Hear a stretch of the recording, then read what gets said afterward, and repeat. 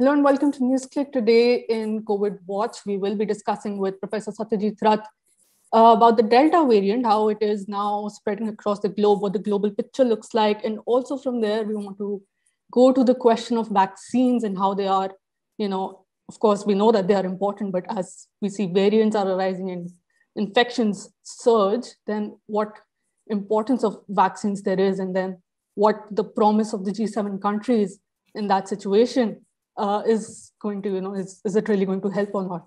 So thank you, Professor, for joining us today. Can you first then tell us about the variant and, uh, you know, what is the global picture currently looking like? Of course, we see, I think by June 16th, almost 76,000 cases of uh, the variant were sequenced in UK, but of course, UK has a very good it has very high sequencing, uh, which is happening. So can you tell us about the global picture, what it looks like? so um, on our um, updates through the last year, we have um, regularly discussed the origin and the consequences of uh, viral variants. Now, as, as, as we keep pointing out, the virus makes copies of itself, including its genetic code, using a biochemical process that copies the genetic code one letter at a time. And as a consequence of that, there's always some error rate for this copying.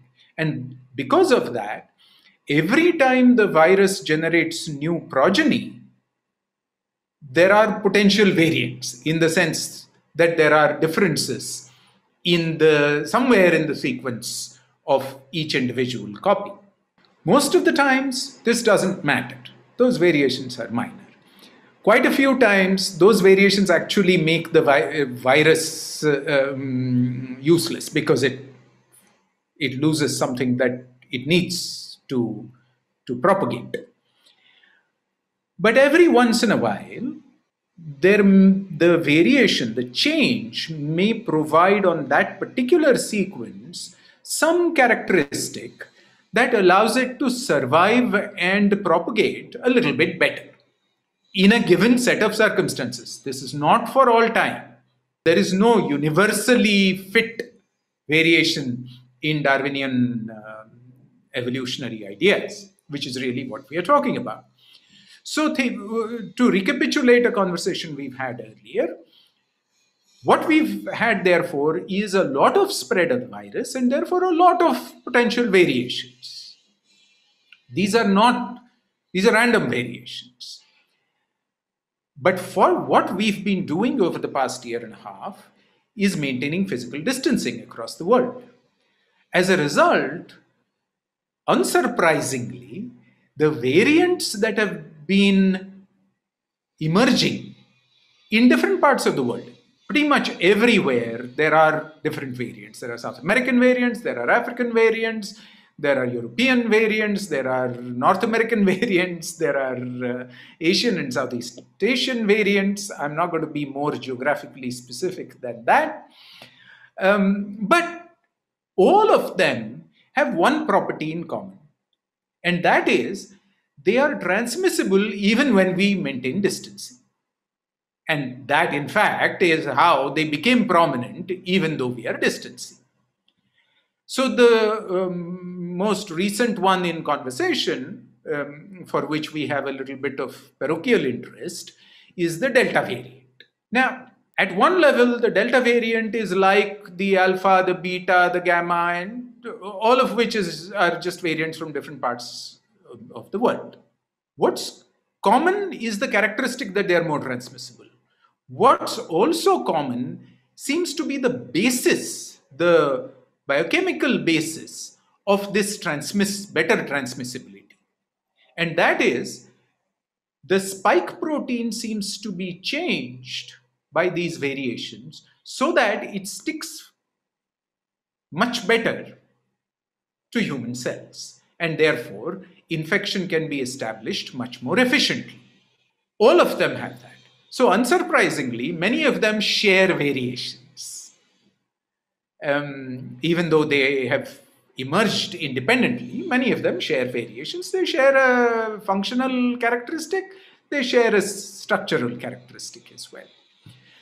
So, the uh, alpha variant, which, used, which was called B117, seemed in Europe and North America, in parts of Europe and North America, to replace last year's uh, uh, strains quite rapidly. And the estimate was that it was 20%, 30%, 50% more efficient at transmission. The um, uh, beta and the gamma variants have had similar claims made about them. These estimates of just how much more transmissible are really not very accurate because the met methodology is quite crude. And that's true for the Delta variant as well. Um, but as a result, that's how we are making sense of the observed fact, which is that in the UK, numbers, for example, after having gone down dramatically, seem to be beginning to move up, especially in specific major metropolitan areas. And a lot of that is the Delta variant. The UK data are especially uh, interesting because there is a great deal of virus sequencing in the UK, unlike in India, which has still not managed anything near reasonably useful scales and levels of sequencing, despite really quite strong efforts by the, by the scientists involved. The logistic uh, uh and administrative organization has simply not uh, uh, happened as yet. We live in hope. So, do we have the Delta variant? Yes, we do. Um, uh, are we beginning, because of these uh, scientists making major efforts, are we beginning to see changes further in the Delta variant that are emerging? That's what's being talked about as the Delta plus variant. We don't really know a great deal about the Delta plus variant in terms of its functional properties. At this point, we don't have information. And in a, in a, in a sad sense, we don't have information because of uh, India's lagging uh, with the scale and uh, speed of virus sequencing. But are we likely to keep seeing these sorts of micro evolutionary changes in the virus population over time? Yes, of course. So long as the virus is growing, in large parts of human communities, there is a lot of varied material available from which under specific circumstances specific variants can get selected with particular properties with particular characteristics. So that's really where we are with the delta variant and the delta plus variant. We'll talk about vaccines but i suspect that's a question you're going to ask so right. i will wait right so yeah, that is the question then. That you know, in UK, if we're seeing a higher number of cases of the Delta variant, UK is a country which also has a higher number of uh, you know vaccination. It has a good vaccination rate. So in that scenario, we are again back to the you know emphasizing the importance of vaccines and how you back to the argument that no one is safe until everyone is safe. So let's think about the science a little bit more. Remember that the Delta variant, like all its other cousins of this year, changes the spike protein so that it binds better to cells. Now, you'd think that if this is how it is selected, why shouldn't the vaccine work? Why shouldn't the vaccine made using last year's strains work on this? And the reason for that is a little odd and awkward. The reason for that is that the bulk of the vaccines that we are making are made using the spike protein as the target.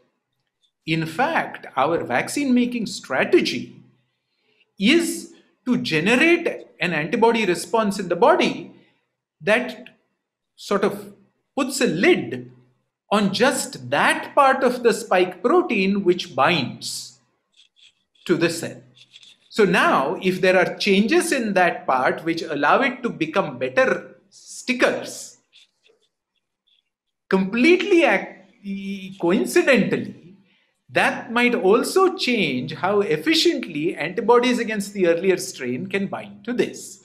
So, in a sense, the loss of potency of vaccine mediated immunity to these variants is a byproduct of our focus on this protein rather than the virus having gotten selected to survive in vaccinated individuals. And I hope all of us will make that distinction, which is important for two reasons. One, because what it says is that the loss of potency of um, last year's strain based vaccines for this year's variants is not very high. It's not a lot of loss of potency. Hmm. So, is there some loss? Yes, but it's moderate loss. And what that means is that because we all seem to be making a lot of antibody, both with natural infection and with vaccination, some amount of loss of potency will still provide us with pretty good protection. That's what the current evidence says. So let me give you an actual real life example of what this moderate loss of potency is. If we take Covishield as the vaccine, these are data I am quoting from the UK because again, there is uh, intensive data collection, um, which India doesn't seem to be doing very well sadly. But if we take Covishield, last year's strains were protected quite well against by one dose of Covishield. Hmm. The second dose improved matters, sure. But one dose also did a pretty good job. Hmm. For the Delta variant, one dose does a much worse job. Hmm. But the second dose, which increases antibody levels, now does a pretty good job because as I said, the increase in the amount of antibodies compensates for the lo uh, loss, small loss of potency. And this is what I mean by a real life uh, consequence of this. So do I think that all of these variants are losing, um, are, are, are uh, a little bit vaccine resistant? Yes. Do I think that that means that these vaccines, current vaccines, are useless against the variants? Not at all. Hmm. They are pretty useful.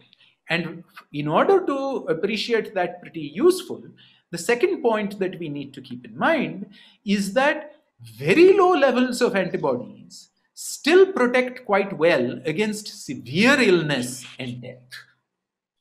Whereas protecting against infection and transmission requires seems to require even higher levels of antibodies.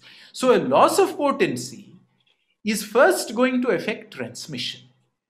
It's going to allow transmission, but it's not going to start sending people to hospital and killing. And in that sense also, we need to wrap our heads around the fact that these are going to be nuanced situations with multiple factors and dimensions to be considered when we think about public policy responses. The final point I'm going to make, and I'm going to make that because you raised the point of um, a global equity. And I would actually point out that um, we in India should think about domestic equity between um, rural and urban and uh, um, well off and poor India as well for uh, vaccination equity purposes.